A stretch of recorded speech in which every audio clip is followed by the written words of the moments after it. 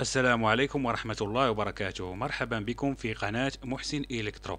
ندعوكم للاشتراك في القناة وتفعيل زر الجرس ليصلكم كل جديد. درسنا لهذا اليوم وهو هذا الجهاز من شركة Echolink وهو الجهاز Technostar Derby. قام أحد الأصدقاء بتمرير له فلاش خاص ب Echolink Zen. وحدث له هذا المشكل سوف أوريكم المشكل الذي حدث له. أصبح الجهاز لا يقوم بالدخول أبدا لذا سوف نقوم بحل هذا المشكل. أولا سوف نتوجه إلى جهاز الكمبيوتر.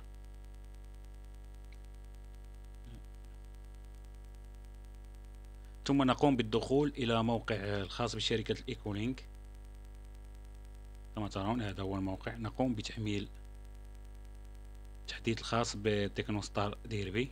هذا هو التحديث. سوف أقوم بوضعه في سطح المكتب.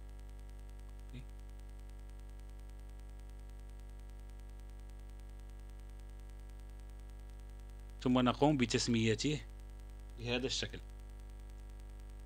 شيء هكذا كبيرة. ثم X صغيرة ميني. ثم R كبيرة هكذا. ثم O M mini. ROM. و bin كما ترون على هذا الشكل نقوم بتسميته. ثم نقوم بإدخال ال USB في جهاز الكمبيوتر. نقوم بفتح ال USB.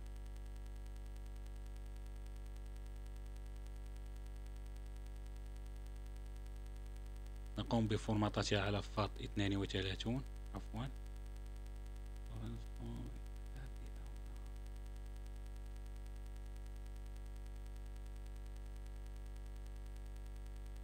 هي ال USB. عندي عليها أحد الملفات ال Windows. سأقوم بفورماتاتها على FAT 32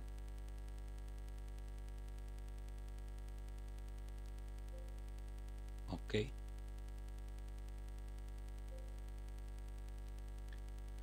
بعد format ال USB نقوم بوضع ملف تحديث عليها نقوم بفتحها. تحميل ملف هكذا. ثم نقوم بإخراج ال USB والتوجه إلى جهاز Technostar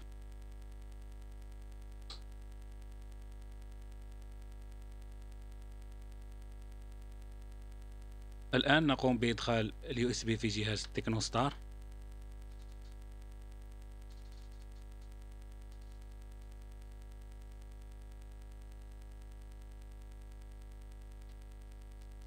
ثم نقوم بفصله على من الكهرباء. هكذا ثم بعد إدخال نضغط على زر باور هذا الزر ثم نقوم بإدخال فيش كهرباء هكذا. ثم ننزل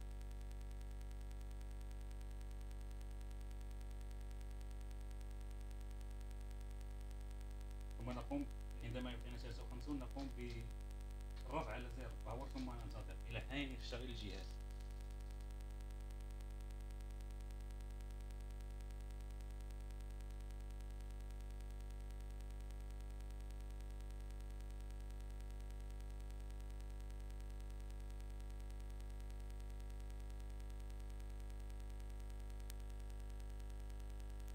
كما ترون الأرقام تمر في الجهاز. الآن أعطانا بوت ونقوم بالذهاب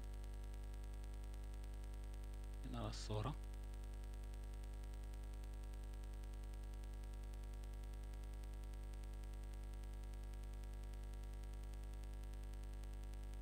كما ترون الآن الجهاز قد أقلع.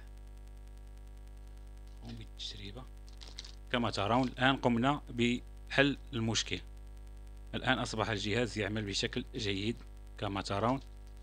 سوف أقوم بإزالة كاميرا الجهاز.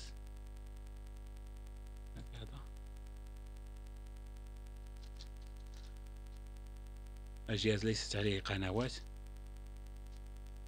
قمنا بحل المشكل.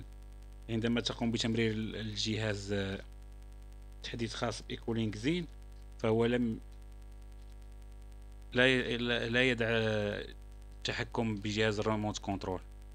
كما ترون الآن الجهاز يعمل بشكل جيد. كان هو الدرس اليوم الحل جهاز مشكل في جهاز Technostar Derby. إلى الدرس القادم إن شاء الله. والسلام عليكم ورحمة الله وبركاته.